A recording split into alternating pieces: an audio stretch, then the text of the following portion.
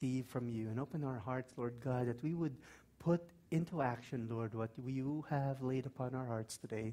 Let your name be glorified, Lord God. And Father, even though this is a revelation to me, to this church, Lord God, let this be a revelation to those who hear, Lord God.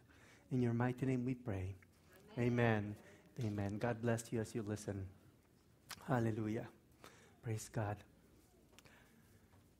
Many of us know there are many things happen, happening or that happened in the past couple weeks.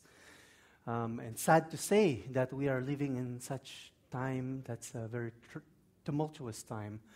I never would have thought I'd see the day where we would see those kinds of flags flying around the United States of America.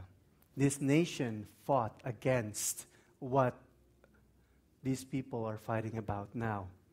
You see, if you go to the next slide, the events in the past two weeks had been troubling me, and just this recently, 13 people were killed Thursday, August 17th, in Las Ramblas, Barcelona, when a van plowed into a crowd filled with people around the world.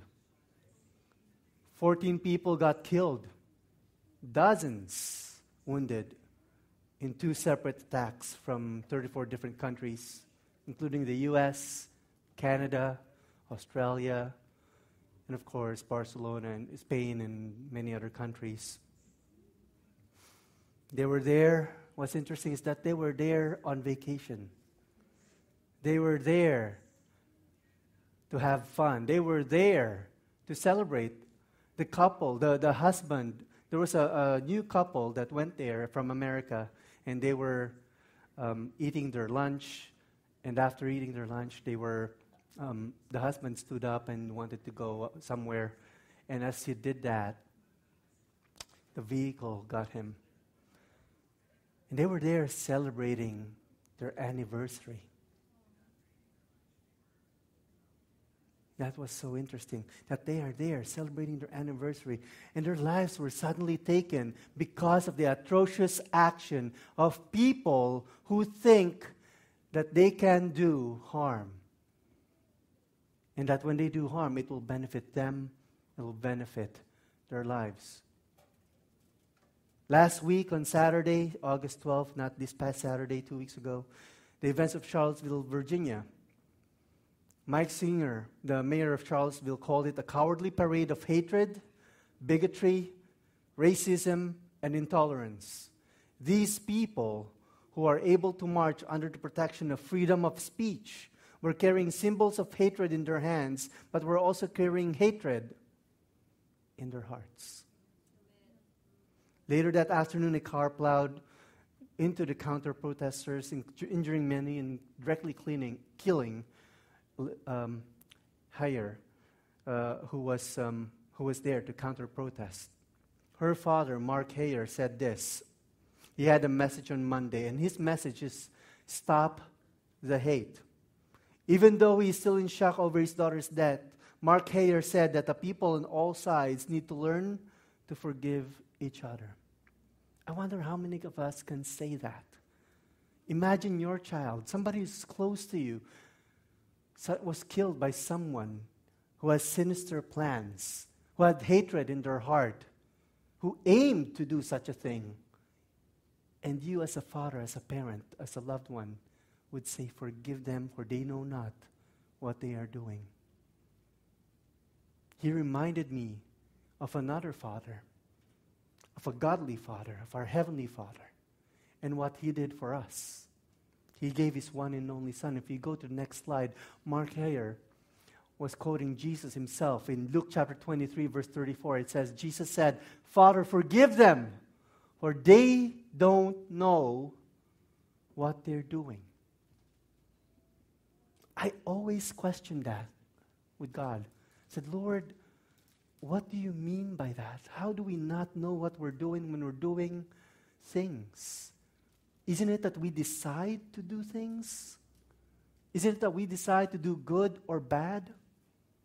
And then as I was reflecting on this, the Lord reminded me, uh, you know, many of us here who, who work sometimes you come out of work and you're so exhausted, you get in your car, Next thing you know, you're home, right? Who's done that? Paano ba ako nakauwi? Bigla na lang ako nakarating sa bahay. Right? It's interesting because you kind of tune out. And because you take the route the same day over and o- same time over and over again, same route, uh, there's nothing, um, unless something else happens, then you kind of pay attention. But if nothing happens, you kind of zone out. You don't know what you are doing. It's the same with us. When we sin and we keep doing that same thing over and over again, we become calloused. It becomes routine. We don't know what we're doing. You're being led by your flesh instead of being led by the Spirit. And that's what's happening with this. Dare I call, dare I call them our brothers and sisters, bearing these flags.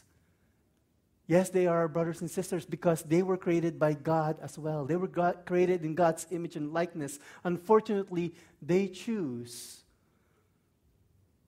to do things by following the flesh instead of following our Lord and our Savior Jesus Christ. In 1 John chapter 3 verse 11 to 12 it says this. This is the message that you have heard from the beginning. We should love one another. We must not be like Cain, who belonged to the evil one and killed his brother. And why did he kill him? Because Cain had been doing what was evil, and his brother had been doing what was righteous. It's interesting because what is the evil thing that Cain did? And most of us would answer he killed his brother, right? But the Word of God says he had been doing what was evil. This was well before he killed his brother. In Genesis chapter 4, verse 8, it says this One day Cain suggested, say suggested, to his brother, Let's go out into the fields. While they were in the field, Cain attacked his brother Abel and killed him. This is what we would call premeditated murder. It was already in his heart to hurt his brother, to, in fact, to even kill his brother. We don't know the reason. It doesn't state in the Word of God. But we can surmise from the scholars and in the Word of God that perhaps there was hatred in his heart. Remember what we said earlier? Our dear brothers who are carrying these flags, they had hatred in their heart. If you go to the next slide, according to Baker's Evangelical Dictionary of Biblical Theology, hatred or hate derives from a strong dislike or ill will toward persons or things.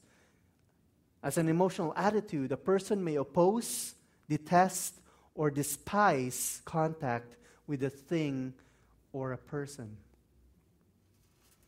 Cain had ill will toward his brother because he wanted to hurt him. In fact, he killed him.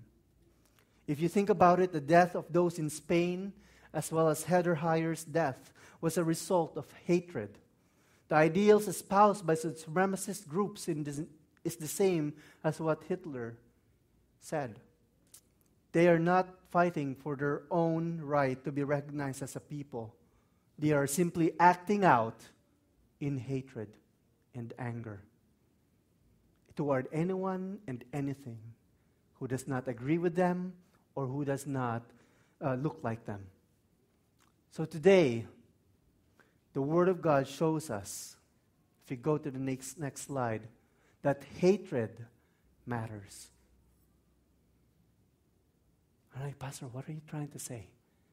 You know, people are talking about Black Lives Matter. Yes, they matter. White Lives Matter. That was what those white supremacists were doing but I'm here to tell you today the Word of God tells us that hatred matters. Hatred matters because, first and foremost, hatred matters to God. Many, of us think, and, and many Christians believe that God cannot hate because God is love. But you see, there are two kinds of hate there's a hate toward people, toward others who are not the same as those who hate toward them. That's the kind of hate that we are so used to. That's not out of love. But God's hatred is holy and justifiable. According to the Bible, in the biblical record, every being may express or experience hate. Biblical, biblical wisdom says this in Ecclesiastes chapter 3, verse 8 there is a time to love and a time to hate, a time for war and a time for peace. Hate in itself is not necessarily evil. The character of God is love, and hate is the opposite of love. But the Word of God also says that God hates certain things. Amen? In Amos chapter 5, verse 21, God says this I hate, I despise, and reject your sacred feasts, and I do not take delight in your solemn assemblies. This is when we do these things as idols. We idolize other things. These, these festivals that we do that are not really toward God and honoring God. That's what he hates. He hates, he hates religiosity. That's what this is talking about. When you go into church day in and day out and there's no relationship there, it's all out of duty, it's all just an just because somebody told you to go. God hates that. Why? Because he wants to establish a relationship with his children. We're not supposed to come here and just be pew seaters. We're supposed to come here, hear the word of God, and act on it. Amen? The Lord hates hypocrisy and lies. In Zechariah chapter 8, verse 17, it says this And let none of you devise or even imagine evil in your heart against another. And do not love lying or half truths. That's what other people would call a white lie, half truths. For all these things I hate, declares the Lord. It's fun because we have to be truthful. Amen? Unfortunately, we have this thing in our culture where when somebody says, oh, let's meet on this time, on this date, and nahihiya tayo. Ayaw natin sabing, well, I can't really go, so I'm just going to say yes, but not show up. Right? Amen po ba? Nako, may tinamaan. And honestly, sometimes I do that. I still do that sometimes. Not, not as often as, as I used to. Because I want to be with, that. it happened just last night. I wanted to be with my brothers. But I was so exhausted and I needed to study the word. So when so I texted one of them and said, Brother, I'm sorry. I said yes. I know I said yes. I was coming. But unfortunately, I, I, I need to get in the word of God and finish studying and just be with him and they understood. But there are times when we say, you know, there are times when we, we are like working on something, we agree, it took like two hours to agree on a particular date and time, and we're going to meet, and then I show up and there's two other people there. Right? Brothers and sisters, as Christians, we must shed those types of responses. We must know that when, let our yes be yes and our no's be no's. Amen? Amen. Hallelujah. Hallelujah. Because the Lord hates half truths and lying. The Lord also hates wrongdoing. In Isaiah chapter 61, verse 8 For I, the Lord, love justice. I hate robbery with a burnt offering, and I will faithfully reward them and make an everlasting covenant with them. We must not do wrong to other people. And it's interesting how he puts these two things next.